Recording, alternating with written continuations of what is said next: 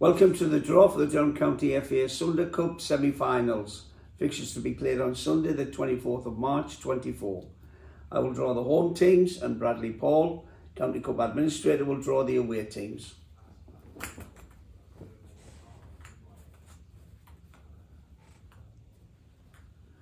Number two, Easington Colliery Welfare Number three. will be at home to Boldon Shack.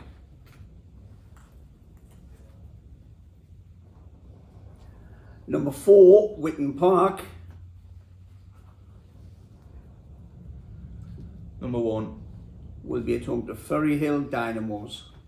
That concludes the draw for the Durham County FA Sunday Cup semi-finals. Thank you.